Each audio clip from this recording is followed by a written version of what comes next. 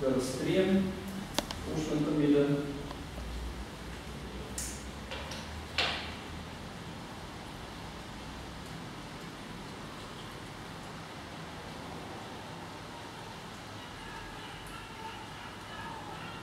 Да направим така нареченото сухо миене на лицето.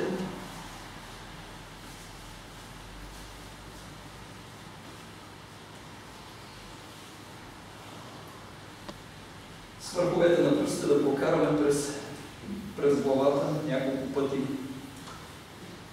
пръстите. Добре. Така да разтрием дута.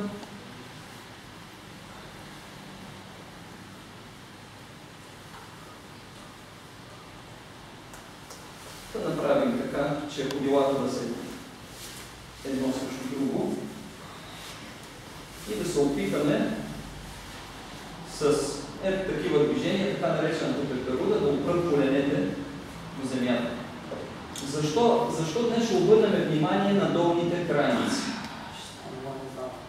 Тъй като, тъй като долната половина на тялото според източната медицина е инската половина, а горната половина е янската половина. И студа, изковаването в организма напредват отдолу нагоре. И затова ние трябва да поддържаме долната част на организма топла, подвижна и гъвкава.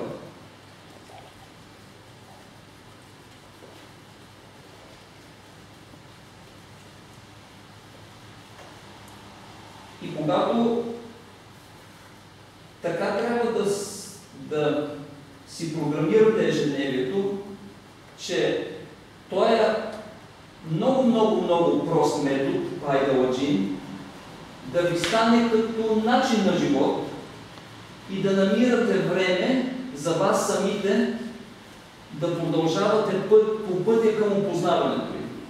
Ето Станислав сега очаква разни диагнози, не знам какви болещи постави, какво е и така, така, така, така.